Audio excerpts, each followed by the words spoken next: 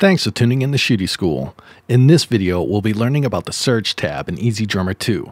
If you're looking for a beginner's video, I recommend watching the Easy Guide to EZDrummer 2 video first, because here I assume you've already watched my previous videos in this advanced series, so there's no need for an introduction or specifications. I'll link to those videos in the description below, and do check out my channel Shootie School for more EZDrummer 2 tutorials. Let's get started. The Search tab in EZDrummer 2 is a sophisticated search engine that will search through your multiple EZDrummer expansion packs, MIDI packs, superior MIDI files, and your EZDrummer 2 MIDI files all at the same time using keywords that you engage or disengage. First, let's focus on the main area in the middle here with all the listed MIDI files. This list is the results of your search. And since we didn't define any criteria in the panels above, it is showing every Toontrack MIDI file that I own.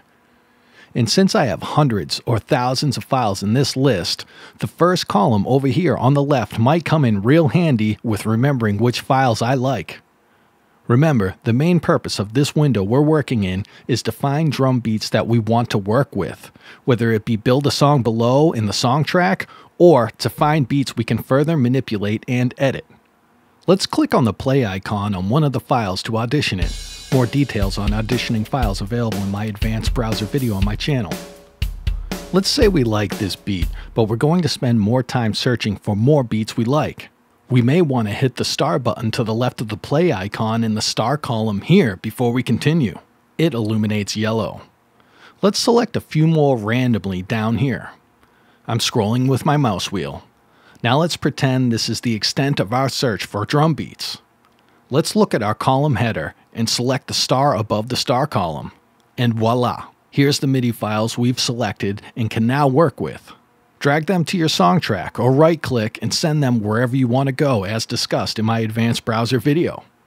One thing to note about the star column and workflow is if I quit EZDrummer right now and didn't save my work, and then relaunched EZDrummer, went back to the search tab and selected the star on the column header, you'll see that all of our starred beats are still there. It doesn't matter if you save your EZDrummer project or not. The program remembers what happens in the star column. And you literally have to click on the star next to every file to make it not sort in that star column anymore, like this. This is a great feature except the last part here, at least for me. I'd love to see EZDrummer 2 only save the star column to a specific EZDrummer project file, not permanently in the program, but now we know. The next column is the name column. Keep in mind that Toontrack MIDI files often share the same name, like verse 1 for example. If you click the name title in the column header, you will sort the MIDI files in ascending alphabetical order. If you click on it a second time, you'll sort in descending alphabetical order. And if you click it a third time, it will disengage sorting of the name column. I'm not positive how it's listing the MIDI files at this stage, possibly by time signature at this point. Either way, clicking the name column again will re-engage it sorting alphabetically. Sorting by family is referring to the orange titles in the browser tab. Let me right click on this file that is from the Radio Rock family and select Show in Browser. You can see that the family name is referring to the orange text that the MIDI folders are grouped into. You can select that family text in the column header to sort ascendingly, descendingly alphabetically, or disengage sorting, just like the last column and every column to follow. The next column is intensity. Another great way to describe this would be velocity. This means how hard the drummer was hitting the drums, not necessarily volume and they have a small graph indicating the intensity of each file in which you can sort by clicking on the intensity title in the column header. I'd like to put a disclaimer in so I'm not speaking for Toontrack personally, but to me, intensity means velocity. If you look at the little intensity gauges, the more left they are, the less intense they are, the more right they are, the more intense they are. To me, that relates directly to velocity, but also a common attribute is the more intense the beat is, the busier the beat is. The less intense, the less busy it is. So you're going to have to use your own opinion to decide what intensity is. Regardless, if you hear a beat you like but the intensity is too high or low, you can adjust this velocity slider before dragging the file to the song track to readjust its velocity, which I interpret as intensity. If you interpret intensity being less busy or more busy, that can also be edited as well in the Edit Play Style function, which is covered in a different video on my channel. Now the next column is the power hand. As you can see, it just shows the name of an instrument from the drum kit. Power hand typically means what the drummer's dominant hand is playing the most.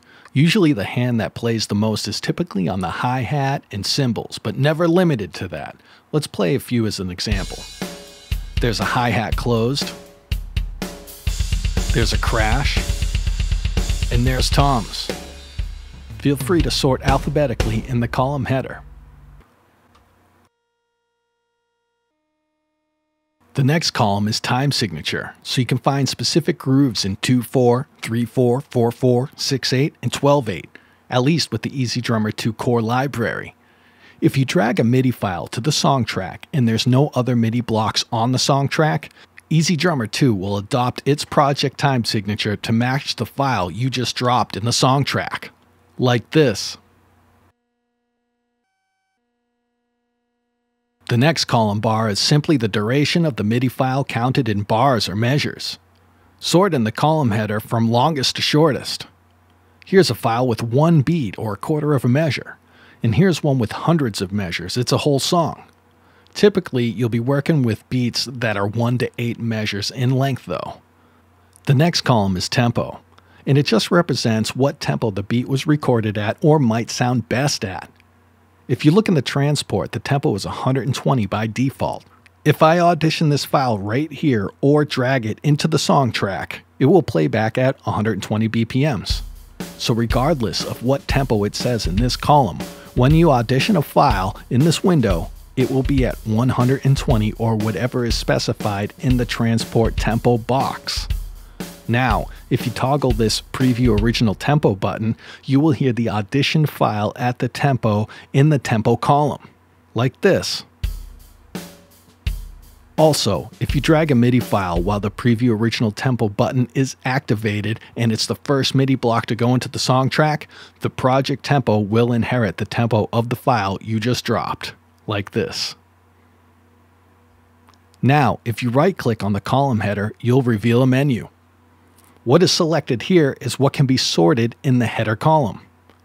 Let's check the other three things, library, resolution, and instrument. Take note, where you right click on the header column is where the new sort option will appear. You can also put your mouse in between the titles on the header column and see your cursor change, so you can click, hold, and readjust the column's width. You can also drag and drop entire columns to reorder them.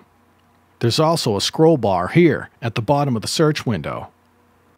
So, the new column, resolution, I assume it means how much the power hand is playing, or maybe it can give you a vibe of how busy the beat is, but that's not entirely accurate. One thing this column is handy for, though, is if you scroll down and watch the resolution column, you can see what beats are based off of triplets, so that's a plus. The column instrument, or number instrument, means how many different drums were played throughout the MIDI file. We can sort and see only a single instrument, Sort again for a beat that utilizes the majority of the kit.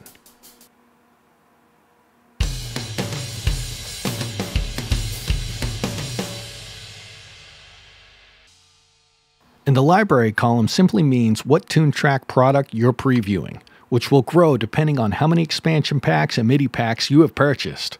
Only two libraries come with the core of EZdrummer 2. I'll right click on the header column and click Reset to Default so it looks cleaner. Lastly, about auditioning MIDI files, you can click on the tempo to hear different tempo variations in combination with the velocity slider to manipulate your stock beats as covered in my advanced browser video. Now that we know how to audition and navigate the main window, let's take a look at how to populate this window. I will cover this tap to find feature in another video which is on my channel, or watch it right after this one. To the right of the tap to find feature are the sorting columns. The column header can be dragged to resort the columns and you can right click on it to reveal more sorting options. With that said, this menu icon over here is another way to add or remove columns from both the sorting columns and the search results window below. In the library panel are all the Toontrack libraries that you own. You'll see just two options if you only have EZdrummer 2. Below on my screen, you'll also see my custom Shootie kit, along with my user MIDI, which was created and discussed in my advanced browser video. But you can look in the main menu, go to Settings, and select MIDI Libraries, and know that whatever has an orange check mark here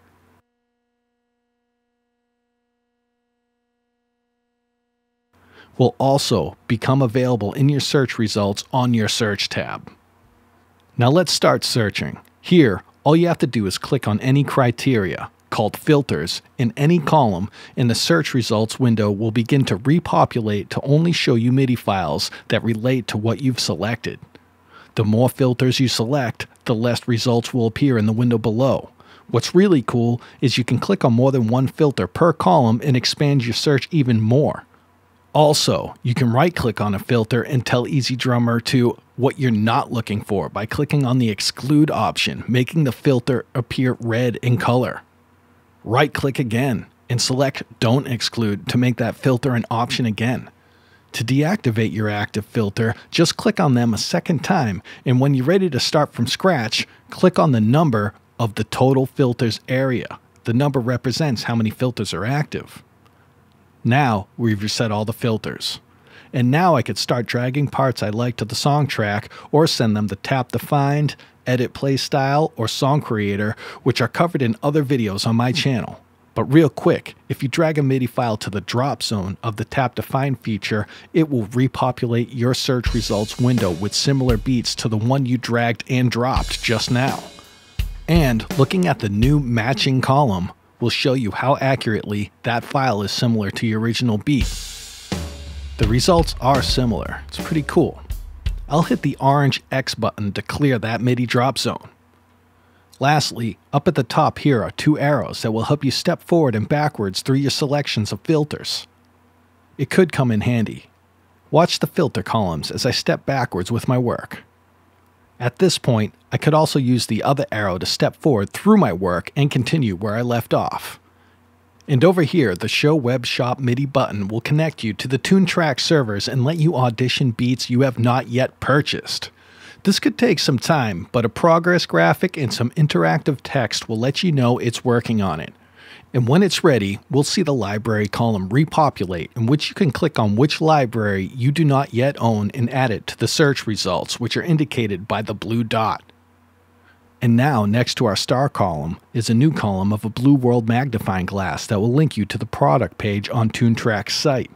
So if you like the beat that you've auditioned enough to purchase it, you just click on the blue world like magnifying glass as you can see, I can't drag these files to my song track or work with the files when I right click on them. These are only for auditioning purposes only. Moving on, since I've right clicked on a Web MIDI shop file, I do see the search with tags option. Clicking on this will deselect and reselect your filters in the sorting columns that relate to the beat. Chances are you only get results that need to be purchased in this specific case. But while we're talking about it, if you go to the browser page and find a beat you like, you can right click and select Search with Tags of the beat you already own, and it will open your search tab with the appropriate filters pre selected so you can find similar beats, like this.